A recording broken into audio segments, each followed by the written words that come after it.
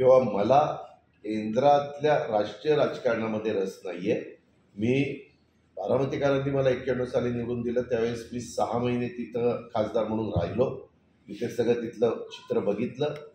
माझी कामाची जी पद्धत आहे ती आणि राष्ट्रीय पातळीवर का करण्याची कामाची पद्धत याच्यामध्ये बराच फरक आहे. म्हणून मी ठरवलं त्यावेळेस म्हणजे तीस बत्तीस वर्षापूर्वी की आपण आपल्या महाराष्ट्रात काम करायचं आणि तेव्हापासून आजपर्यंत मी महाराष्ट्रात काम करतोय.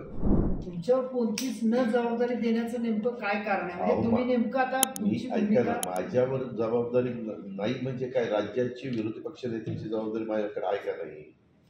आता पुढच्या जुलैमध्ये अधिवेशन सुरू होईल. आम्ही पण वेगवेगळ्या ठिकाणी आता मी ब- काय ते पंधरा तारखेला. पंधरा तारखेला काही सहकारी राष्ट्रवादी काँग्रेस पक्षामध्ये प्रवेश करतायत त्याच्याकरता मी धुळ्यामध्ये जातोय.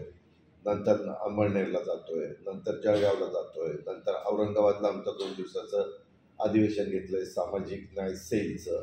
त्याच्यानंतर परळीला एक कार्यक्रम धनंजय मुंडेंचा घेतला आहे त्याच्यानंतर नागपूरला एक कार्यक्रम घेतला आहे अशा वेगवेगळ्या भागामध्ये कार्यक्रम आहेत. वेगवेगळे कार्यक्रम आम्ही त्या ठिकाणी करतोय. आमची आमची भूमिका मांडतोय.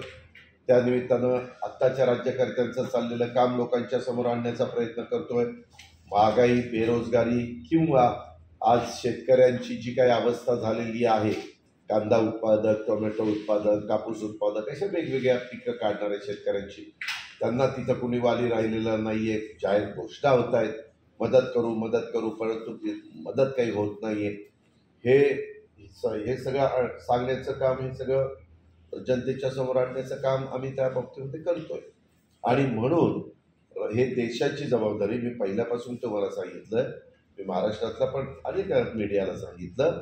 किंवा मला केंद्रातल्या राष्ट्रीय राजकारणामध्ये रस नाही आहे मी बारामतीकारांनी मला एक्क्याण्णव साली निवडून दिलं. त्यावेळेस मी सहा महिने तिथं खासदार म्हणून राहिलो. मी ते सगळं तिथलं चित्र बघितलं.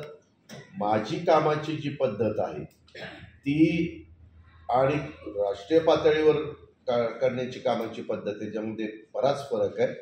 म्हणून मी ठरवलं त्यावेळेस म्हणजे तीस बत्तीस वर्षापूर्वी की आपण आपल्या महाराष्ट्रात काम करायचं. आणि तेव्हापासून आजपर्यंत मी महाराष्ट्रात काम करतोय. ज्यावेळेस आम्ही सत्तेवर असतो त्यावेळेस वेगवेगळी मंत्रिपदं आम्हाला मिळतात. त्याच्यातून काम करण्याचा प्रयत्न करत असतो. आणि ज्यावेळेस विरोधी पक्षात असतो त्यावेळेस विरोधी पक्षाचा आमदार किंवा विरोधी पक्षाचा नेता म्हणून काम करत असतो. शरद पवार साहेबांनी जो निर्णय घेतला त्याला भाकरी फिरवली म्हणत नाही तर ती सरळ सरळ दुर्फेक आहे असं देवेंद्र फडणवीस म्हणतायत. मी तुम्हाला सांगितलं ना काल हाच प्रश्न मला विचारलेला आहे. हा आमचा पार्टी अंतर्गतला प्रश्न आहे. बरोबर आहे? भाकरी फिरवली कुणी सांगितलं? मीडियाने चालवलं. मी बघत होतो. मी रात्री वेगवेगळ्या चॅनलच्या बातम्या बघितल्या. ते बघत असताना मीडियानी भाकरी फिरवली भाकरी फिरवली भाकरी फिरवली असं केलं. केलं की नाही? पवार साहेब काल परत काही म्हणले भाकरी फिरवली म्हणून? नाही म्हणले. मीडियाने ते चालवलं. आता विरोध उपमुख्यमंत्री देवेंद्र फडणवीस एका राष्ट्रीय पक्षाचे प्रमुख आहेत महाराष्ट्राचे. त्यांनी काय म्हणावं तो त्यांचा अधिकार आहे.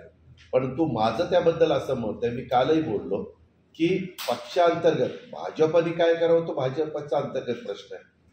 तसा राष्ट्रवादीने काय करावं हा राष्ट्रवादीचा अंतर्गत प्रश्न आहे.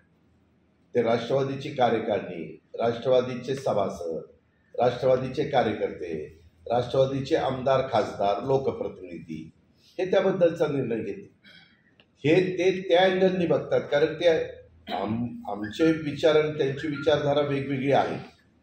त्याच्यावर ते टीका टिप्पणी करणं हे त्यांचं काम आहे. आहे का नाही? त्याच्यामुळे ते बोलतात. आम्हाला त्याच्या त्या बोलण्याकडे फार महत्त्व दिलं पाहिजे. असं मला काही वाटत नाही.